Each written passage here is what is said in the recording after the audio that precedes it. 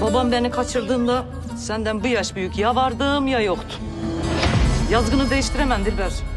Mümkünü yok. İnat edersen harcarlar. Dilber bu senin kocan Röpeli. Namusuma kara sürersem yaşatır mıyım lan ben seni? Sana türkü söyledim baba. Senden öğrendiğim türküyü dedim baba sana. Türkücü olacağım. Pavyonlara düşeceksin ha. Sana yapacağımı biliyorum.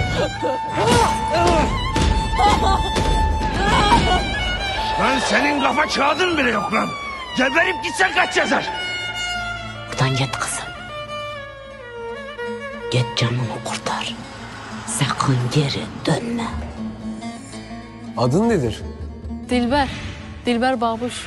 Ne oldu kardeş ne oldu? Yolda mı kaldın?